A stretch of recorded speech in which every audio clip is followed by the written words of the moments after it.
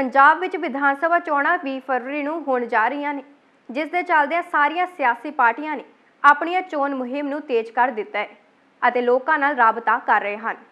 ਇਸ ਦੇ ਚੱਲਦਿਆਂ ਵਿਧਾਨ ਸਭਾ, ਸ਼੍ਰੋਮਣੀ ਅਕਾਲੀ ਦਲ ਬਾਦਲ ਅਤੇ ਬਹੁਜਨ ਸਮਾਜ ਪਾਰਟੀ ਦੇ ਸਾਂਝੇ ਉਮੀਦਵਾਰ ਗੁਨੀਵ ਕੌਰ ਮਜੀਠੀਆ ਨੇ ਮਜੀਠਾ ਦੇ ਵੱਖ-ਵੱਖ ਪਿੰਡਾਂ ਦਾ ਦੌਰਾ ਕਰਕੇ ਲੋਕਾਂ ਨਾਲ ਮੁਲਾਕਾਤ ਕੀਤੀ ਅਤੇ ਸ਼੍ਰੋਮਣੀ ਅਕਾਲੀ ਦਲ ਅਤੇ ਬਹੁਜਨ ਸਮਾਜ ਪਾਰਟੀ ਗੱਠਜੋੜ ਨੂੰ ਵੱਡੀ ਲੀਡ ਜਿਤਾਉਣ ਦੀ ਅਪੀਲ ਕੀਤੀ।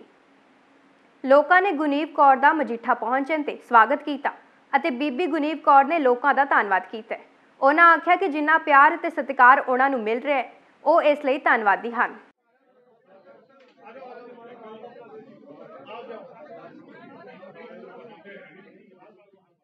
ਬਹੁਤ ਪਿਆਰ ਮਿਲ ਰਿਹਾ ਹੈ, ਬਹੁਤ ਸਤਿਕਾਰ ਮਿਲ ਰਿਹਾ ਹੈ। ਬਹੁਤ ਅੱਛਾ ਲੱਗ ਰਿਹਾ ਹੈ। ਉਹਨਾਂ ਕਹਿੰਦੇ ਸੀ, ਮੇਰਾ ਪਰਿਵਾਰ ਹੈ, ਜਿੰਨਾ ਮੈਨੂੰ ਇੱਥੇ ਪਿਆਰ ਮਿਲਦਾ ਹੈ, ਉਸ ਉਸ ਤੋਂ ਘੱਟ ਘਰੇ ਮਿਲਦਾ ਹੈ। ਮੇਰੀ ਇਹਨਾਂ ਨੇ ਬਹੁਤ ਬਹੁਤ ਪਿਆਰ ਦਿੱਤਾ ਹੈ ਵਿਕਰਮ ਜੀ ਨੂੰ। ਮੇਰਾ, ਮੇਰੀ ਬਸ ਇਹੀ ਬੇਨਤੀ ਹੈ, ਉਹੀ ਪਿਆਰ ਮੈਨੂੰ ਵੀ ਮਿਲੇ।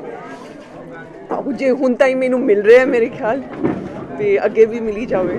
ਬੀਬੀ ਗੁਰਵੀਨ ਕੌਰ ਨੂੰ ਬੜੇ ਭਾਰੀ ਵੋਟਾਂ ਦੇ ਨਾਲ ਜਿਤਾਵਾਂਗੇ। ਚੰਗਾ ਉਹਨਾਂ ਦਾ ਸਾਥ ਦੇਵਾਂਗੇ ਸਾਰੀ ਫੈਮਿਲੀ ਸੇ ਉਹ ਜਿੰਨਾ ਸਾਡਾ ਪਿੰਡ ਵਾਸੀ ਸਾਰਾ ਉਹਨਾਂ ਦਾ ਪੂਰਾ ਸਤਿਕਾਰ ਕਰਾਂਗੇ। ਅਸੀਂ ਜਿਸ ਤਰ੍ਹਾਂ ਵੀ ਮਤਲਬ ਸਰ ਪਹਿਲੇ ਜਿਸ ਤਰ੍ਹਾਂ ਭੁਪਿੰਦਰ ਸਰ ਹੈ ਇਹਨਾਂ ਦੇ ਨਾਲ ਆ ਕੇ ਉਹ ਘਰ ਘਰ ਜਾਂਦੇ ਸੀ ਜਿਵੇਂ ਕਿ ਕਿਸੇ ਦੇ ਕੋਈ ਡੈਥ ਹੁੰਦੀ ਹੈ ਜਾਂ ਕਿਸੇ ਦੇ ਕੋਈ ਖੁਸ਼ੀ ਦਾ ਮਾਹੌਲ ਹੁੰਦਾ ਵਾ ਤੇ ਜਾਂਦੇ ਸੀਗੇ। ਇਸੇ ਤਰ੍ਹਾਂ ਅਸੀਂ ਬੀਬੀ ਜਸਪਾਲ ਕੌਰ ਨੂੰ ਨਾਲ ਲੈ ਕੇ ਉਹਨਾਂ ਦੇ ਨਾਲ ਨਾਲ ਚੱਲਾਂਗੇ। ਅਸੀਂ ਉਹਨਾਂ ਦਾ ਨਾਲ ਉਹਨਾਂ ਦੇ ਨਾਲ ਰਲ ਕੇ ਸਾਥ ਦਿਆਂਗੇ।